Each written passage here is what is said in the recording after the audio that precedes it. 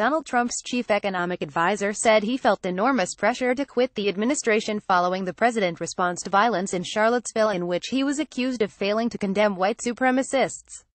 Gary Cohn, who is Jewish and who joined Mr. Trump's administration after serving as CEO of Goldman Sachs, said he, he felt compelled to resign after the president placed blame for the violence on all sides, but also felt pressure to stay and work for the country.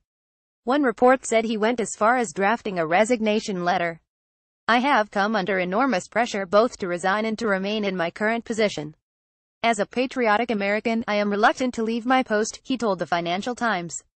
Mr. Cohn joined the administration after a long career on Wall Street Getty but I also feel compelled to voice my distress over the events of the last two weeks. Citizens standing up for equality and freedom can never be equated with white supremacists, neo-Nazis, and the KKK. Mr. Trump faced widespread criticism following the violence that left a young woman dead and up to 20 people injured. The clashes took place as scores of white supremacists and neo-Nazis gathered in the Virginia college town to protest over plans to remove a statue of Confederate General Robert E. Lee. They were met by dozens of counter-protesters. Boris Johnson says Donald Trump got it totally wrong on Charlottesville. Mr. Trump issued a series of shifting statements, reportedly prodded by his most senior advisors and members of his family, including his daughter, Ivanka, who converted to Judaism in order to marry Jared Kushner.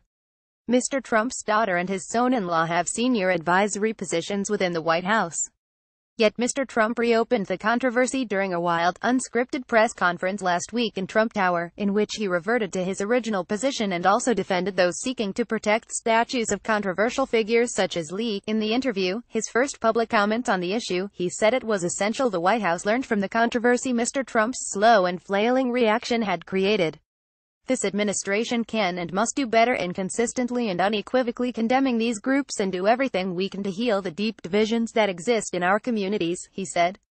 The newspaper said the 56-year-old Mr. Cohn, who with Treasury Secretary Steven Mnuchin is heading a push to enact tax reform, seriously considered resigning, according to his friends, but opted to remain after speaking with the president. As a Jewish American, I will not allow neo-Nazis ranting Jews will not replace us to cause this Jew to leave his job, he said.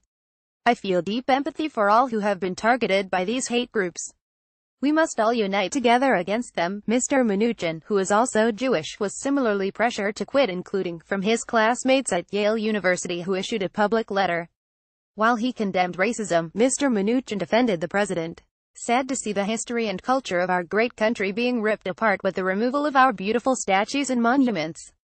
You, Donald J. Trump at Real Donald Trump August 17, 2017 I feel compelled to let you know that the president in no way, shape or form, believes that neo-Nazi and other hate groups who endorse violence are equivalent to groups that demonstrate in peaceful and lawful ways, Mr. Mnuchin said.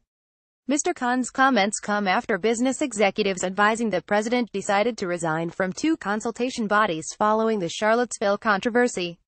They were concerned about the impact on both their employees and their customers. The members of an arts advisory body also resigned, while four senior generals representing different branches of the armed forces used Twitter to denounce racism and bigotry and insist it had no place in the military. The FT said when Mr. Cohn was asked if his decision to remain in the administration was somehow connected to the recent firing of Steve Bannon, the populist chief strategist with whom he had frequently butted heads, he said no, my decisions are my own decisions. He added I have to do what is best for me and my family. I have had numerous private conversations with the president on this topic and I have not been bashful saying what I think. More about Gary Cohn Donald Trump Charlottesville reuse content